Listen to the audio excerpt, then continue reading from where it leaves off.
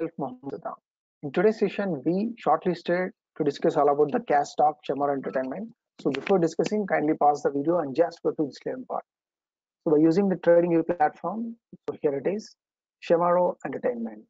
So there is a quick short rally in the last session in this counter, which jumped 20 percentage and hit upper circuit on last week, right? So you can see in today's session, it opened the gap up and which managed to close nearly 2 percentage on positive side. So let me use the weekly time frame. So as per the weekly time frame, so you can see the momentum of this stock is completely in a consolidation zone. So which is looking to pull back because of previously, uh, you can see the fall of this. Let me use the monthly time frame for this. So as per the monthly time frame, you can see there is a straight fall from the top levels, which dropped from 594 levels stock. It made slightly and touched around 40 rupees. So it's been uh, within one, two, three. So within three years, from 594 rupees, stock dropped towards 40 rupees, and then you can see the pullback, which the first time it made around this place.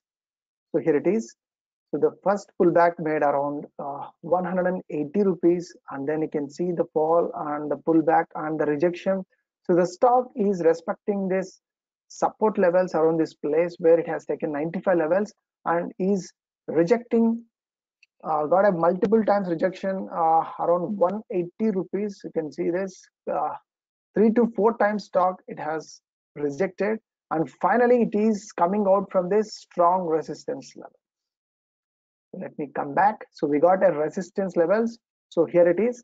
The stock it is coming out from this strong resistance area as per the weekly time frame. So about to 180 levels.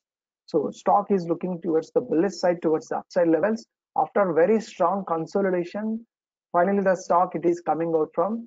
So if i consider the recent action which happened in this counter from this particular area level so here it is right? If i consider this the fall the rise the fall and the bull the breakout. So ascending triangle chart pattern formation as per the weekly time frame but apart from this the stock it is promising uh, in a highly frames monthly frame so here it is. So it is trying to come back from the bottom side. So on this successful performance you can see the large candle in the current month which jumped 40 percentage with a huge volume in this counter. So the stock to be targeted for the upside levels uh, as per the previous swing zones where it is around this place immediately. So 320 rupees should be the next targets in this place and below to that so 320 and above to that uh, the stock. May look for 335 so 100 points of momentum we are expecting in this counter for the coming days. As per the last week candle so you can see this is the bullish candle which it formed. So from the breakout levels stock may look for 335 levels. So this is the first possibility as per the breakout candle. So by any chance of retestment levels can be a good opportunity to bounce back around 180 levels and immediately may look for 335 levels right? So these were the two possibilities in this case as of now.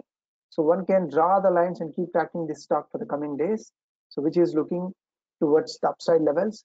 Because of stock has bitten strongly so earlier to this it went for the consolidation for three years three years completely. So finally after three years stock is coming out from this consolidation zone so which is looking interesting that stock is expected to perform so all these are just for educational purpose.